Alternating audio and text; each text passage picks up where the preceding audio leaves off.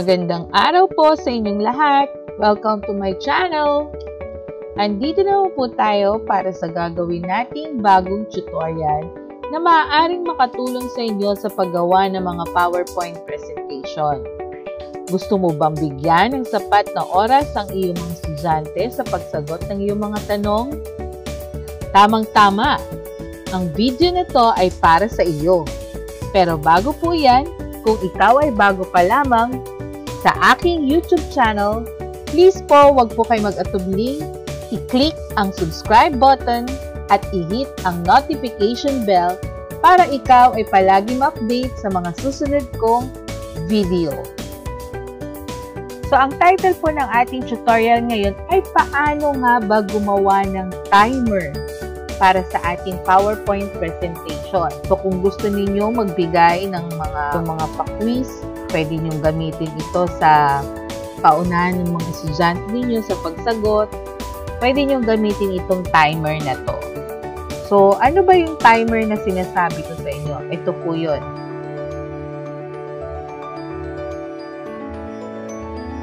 Identify the category of the following words. Choose your answer inside the box. Number 1. Pencil, paper, eraser, and ball pen.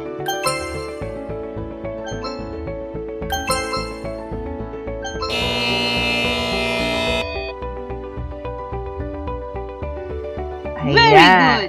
These are school supplies. So, yan po yung timer na sinasabi ko po sa inyo. So, paano po natin ito gagawin? So, ito po, simulan na po natin. Una po natin gagawin ay punta tayo sa Insert and then Shapes. So, ito po yung pinili kong shapes. Ayan. So, una po natin ay tanggalin natin ang kanyang shape fill. So, no fill yung pipiliin natin. And then, yung kanyang shape outline, punta sa weight. Yung medyo makapal po ang piliin natin. Ayan, para kitang-kita siya. Pwede rin natin ibahin yung color. So, kuha tayo ng medyo, ayan. And then, after po nito, mag insert po ulit tayo ng another shape. Pareho lang, pareho ng shape din yung kukunin natin. And then, ayan. Ipapatong po natin siya dun sa nauna nating ginawa. Then, right-click. Send to back po natin yung shape. Ayan. So, yan na po yung kalalabasan niyan. After po niyan, paano yung, yung nagkakaroon ng pag, pag swipe nung, nung color na, yung colored na shape o yung may fill na shape. So, lalagyan po natin siya ng animations. And then, punta po tayo dun sa exit effects. So, sa exit effects, ang pipiliin po natin ay ang wipe. Click wipe. Then, okay. Tapos, punta po tayo sa effect options. Ang pipiliin natin itong from right. Ayan. So, ganun po yung magiging um, kalalabasan niya. And then, click natin tong animation pane. Then, medyo mabili, ma, masyadong mabilis yung paglabas ng ating animation or nung object na yung ating shape. Punta tayo sa timing. And then, pagkatapos po niya, punta tayo dito sa duration. So, sa duration, ang pipiliin natin yung 5 seconds or pwede rin naman tong 3 seconds na, na duration. And then, okay po natin yan. Ayan, medyo mabagal na siya. Pagkatapos po niyan, ay mag-insert tayo ng picture. Siyempre, lalagyan natin siya ng ng clock. So, insert pictures. Dito na lang po ako kumuha sa online pictures. And then, click na lang po natin yung clock na clip art. Ayan. Marami po kayong pwedeng pagpilian dyan na iba't ibang clock or alarm clock. Ito po yung pipiliin ko. Then, insert. Ayan. Click na lang po natin tong alt text niya.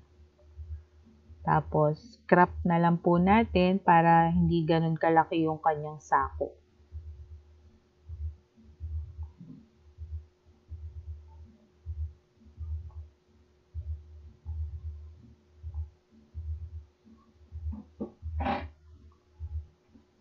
Tapos, resize na lang natin. Yung eksakto lang dito, hindi masyadong maliit, hindi rin masyadong malaki. Dito natin siya sa dulo ilalagay. So, pagkatapos niyan, ito pong clock na to, lalagyan din natin siya ng animation. Ang animation na ilalagay po natin dyan ay dun sa emphasis. Sa emphasis, ang pipiliin natin ay ang teeter. Ayan, yung parang nanginginig-nginig. Then, punta sa animation pane, timing, and then, repeat natin siya ng mga tatlong beses. And then, okay. Pagkatapos,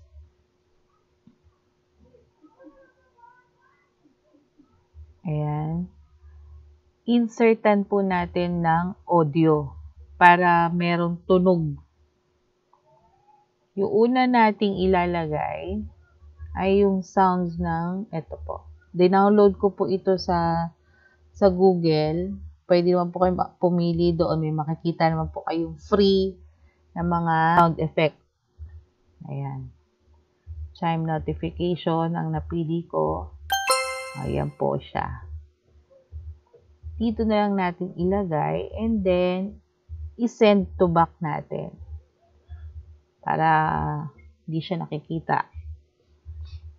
Pagpalitin lang po natin yung yung pwesto ng picture tsaka ng sound. Ayan. Tapos, sa timing nito ay with previews po yung gagawin natin. And then, ito pong clock, syempre, after previews po. And then, insert another audio para ito naman yung magbibigay ng hint na tapos na yung oras. Yan, yung buzzer. So, dun din natin ilagay. Send to back uli natin. And then, ito ay with previews. Pag natapos na to, yung pag-exit ng color na shape, colored shape, hihit niya yung clock, magtitit, yung mag, mag-animate yung clock, gagalaw siya, then tutunog yung buzzer. So, ganun po yung ating gagawing timer. So, check natin kung tama yung ating gawa. So, play from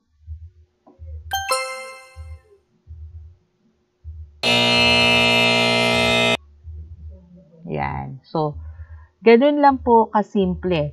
So, pwede nyo naman po, yung chime notification natin, pwede naman natin tong ulitin ng, lagyan natin ng timing na mga, pagpalagay na natin na 5 para sa 5 seconds or 3.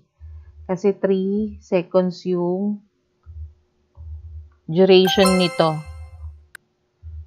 Yung pag pag-wipe out nitong shape na isa, 3 seconds, di ba po nilagay natin? So, lagay din natin yung sa chime notification na 3.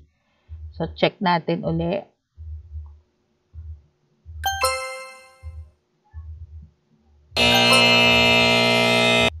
Ayan, medyo nag di-delay lang po yung chime notification. Pero sakto na po siya. Ayan, check natin.